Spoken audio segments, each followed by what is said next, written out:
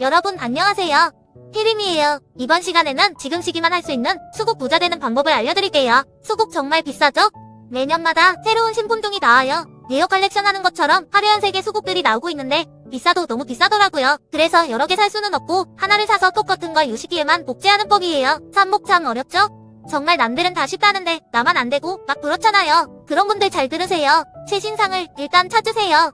지금 최신상은 베를린 로즈나 베를린 블루 같은 품종이에요. 아무데나 없고요. 우리 산촌내 농원같이 큰 곳에 있어요. 찾으셨다면 그 중에 새순이 제일 많이 올라온 녀석으로 고르세요. 그런 다음 녹소토를 한 봉지 사세요. 녹소토를 베이킹소다물로 한번 헹군 다음 물에 충분히 적셔두세요. 새순 중의 하단 부분에 무분별하게 난 새순만 따서 녹소토에 심으세요. 수분이 마르지 않게 페트병으로 덮어두면 더 좋아요. 봄 새순은 힘이 워낙 좋기 때문에 다른 계절에 올라오는 새순보다 뿌리 내림 확률이 훨씬 더 높답니다.